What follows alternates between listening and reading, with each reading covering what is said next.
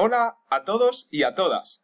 Today, after the first video, vamos a hablar sobre los colores. We are going to speak about the colors. But before that, through this PowerPoint, I'm going to let you know other things about learning a second language to encourage you to learn a second language. So, in this PowerPoint, I'm going to show you three points. The first point, number one, número uno, es hablantes bilingües en el mundo. Bilingual speakers in the world. Where I'm going to let you know how is the situation of bilingual people in the world and to encourage you to learn a second language, like Spanish. Punto número 2. Vamos a practicar. Let's practice. Where we are going to practice the thing that we have already learned this term and last term. Some answer and questions. And last point, Punto número 3. Los colores, the colors, we are going to learn a new lesson about the colors in Spanish. Let's start.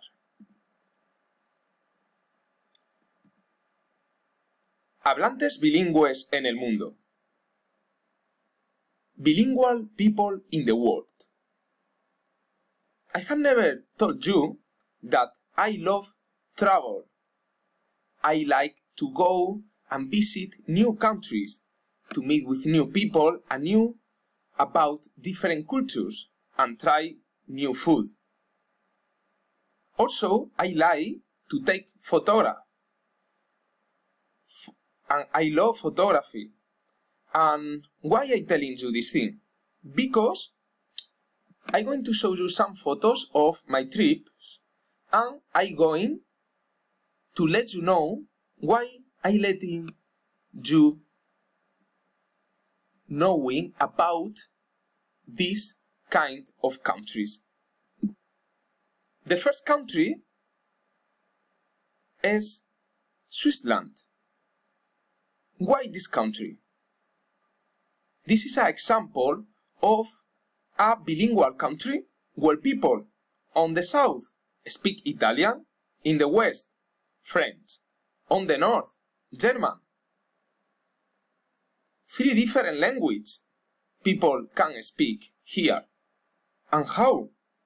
Yes, because of the history of the country, according to the area, people speak a different language. Also, the children that were born here can speak at least two languages, so they are bilingual.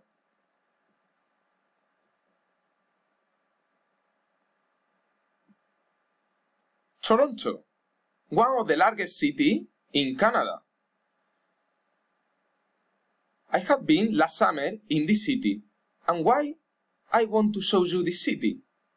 Because not just in the city, in Canada, is the second largest country where people speak French after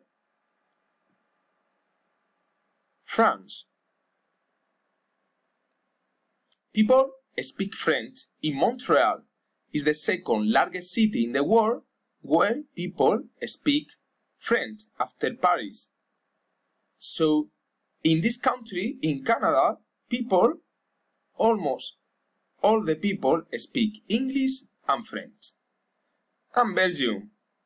Belgium is the third country, as an example, that I want to show you where people are bilingual.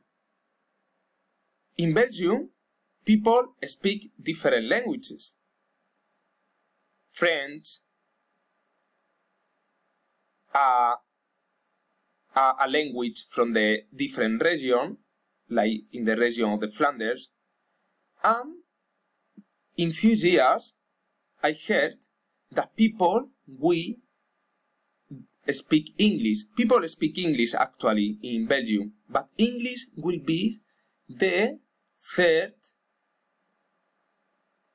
spoken language in Belgium, officially spoken language.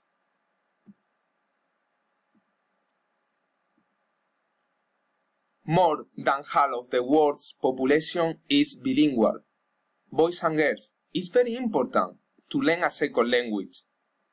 Because if you learn a second language, you can communicate easily with other people from different cultures, from different countries. You can meet with them and you can discuss about different topic. Also, you can, you can learn more, you can travel. It's easier to travel if you learn a second language and it's easier to find a job. Here, I want to show you in a picture the situation of bilingual speakers in the world. You can see that just in the European Union, more than the half of the population is bilingual, 56%, and just 44% speak one language. In Luxembourg, Netherlands, Germany, Poland, Denmark, Sweden, almost all the people speak at least two languages.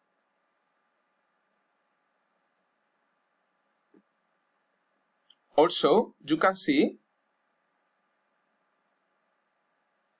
a graphic of United States population who spoke a language other than English at home by year. And here, to finish the second point of today, is the map of the world, where you can see in different colors, different areas in the world where people speak different kind of languages. You can see that one of the most popular language is Spanish. Also English, but you can see that not too popular and French.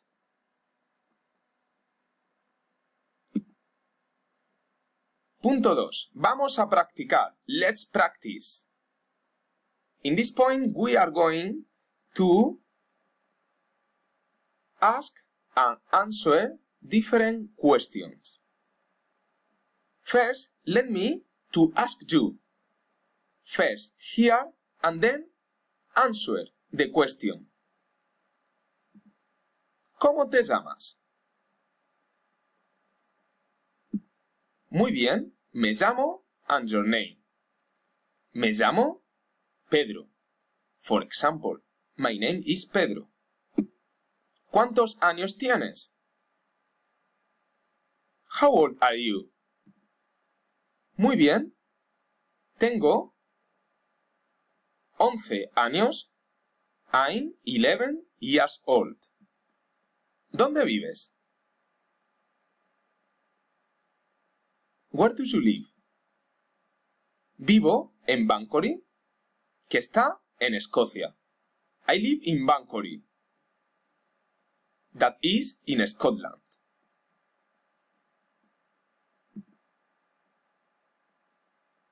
¿Cómo estás? How are you? And here you can choose one of these four answers. Estoy bien, I'm fine. Estoy mal, I'm not well. Estoy muy bien, I'm very, very well. O estoy muy mal, I feel so bad.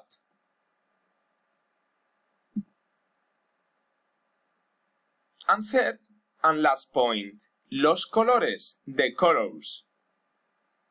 Just repeat with me. El rojo. Why el rojo. Two words. You can see two words. Because, as I told you before in class, a noun in Spanish always is with a article before. El is a article, a masculine article. And then go a noun, rojo. El rojo. So, today we are going to learn about the color and also we are going to practice the article and the structure of a sentence. First the article and then the noun. El azul. Repeat with me.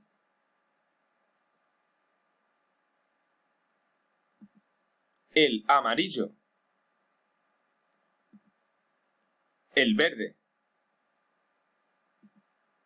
El naranja.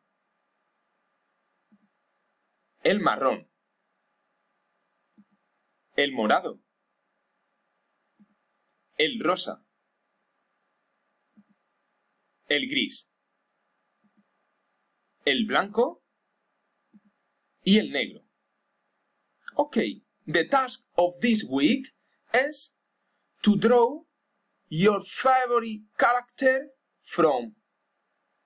You can choose a film, a book, or a cartoon. So your favorite character from a movie or film, book, or cartoons. Draw a picture of this character and then what do you have to do? Very easy. You have to label the color that you use and you have to write the spelling in Spanish. So label each color and write in Spanish. So, thank you very much, gracias, y bye. Adiós. See you soon.